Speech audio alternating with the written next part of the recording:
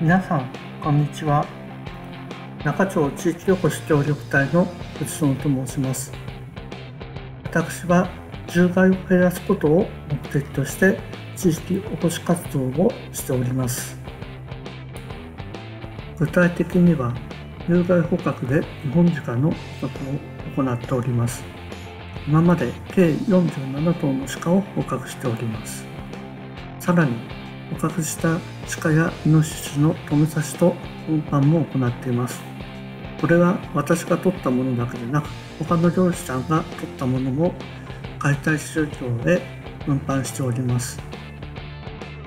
さらに、解体宗教に運搬した鹿やイノシシは、淡路市ガイドラインにのっとり、各費内臓摘出をして肉にしております。これにより、衛生的でかつ美味しい肉が生産できているものと考えております。さらに獣害対策の活動もしております。地域の集まりなどに行き獣害対策の方法を講演したりまた現場に行って獣害の発生原因を調べその対策方法を指導するなどといった活動もしております。また自らもモンキードッグを育成して猿の追い払い活動も始めております。また獣害対策の調査研究も行っています。その成果は学会等で発表しております。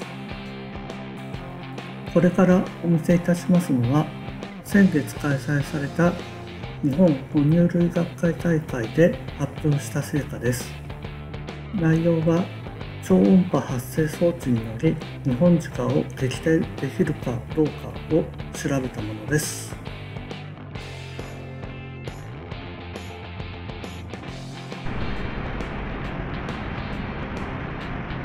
まずは超音波発生装置の稼働前です。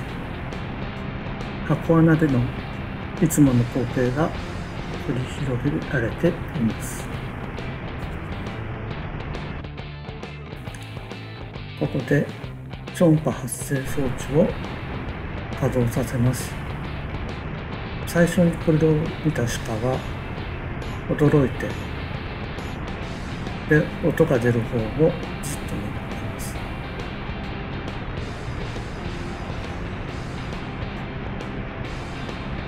このように発生装置が点滅している時は超音波が出ている時の状況です。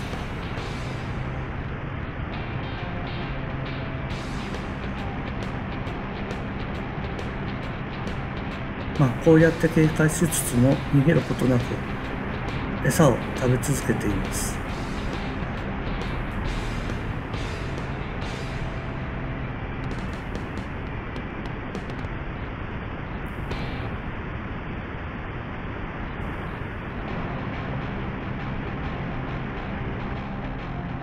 超音波発生装置があっても気にせず中に入っていきます。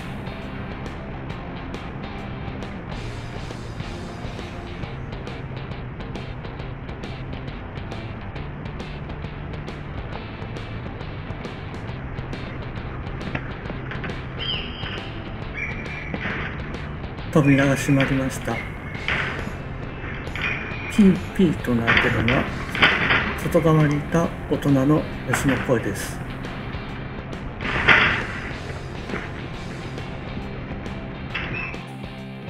こちらが超音波発生装置の近くにやってきた鹿の頭数を示したものです。超音波を発しても鹿が減る様子はありません。このことから超音波発生装置により日本鹿がやってこなくなるといった効果は期待できないと言えます。今後の活動予定です。日本鹿の有害捕獲を継続して行いたいと思っております。またモンキードッグを効果的に活用するために日本ザルの群れに発信機をつけてそれを追い払いに使用したいと考えています。以上で発表を終わりにいたします。ありがとうございました。